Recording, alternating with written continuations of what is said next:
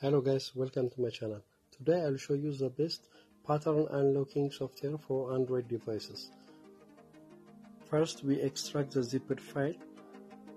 You can find the software from the download uh, link in the description below. And uh, we'll wait until the extracting process is finished and uh, we open the folder and run the setup file.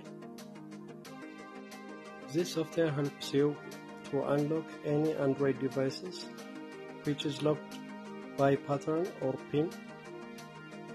And guys, if you are new for this channel, make sure you subscribe and click the bell notification and you will not miss anything about smartphone softwares. After we double click on the setup file, uh, this icon will come and uh, we click OK and next. And uh, we click also next. And uh, here is the setup process. And uh, it starts the setup process. And we wait it until the setup process have uh, finished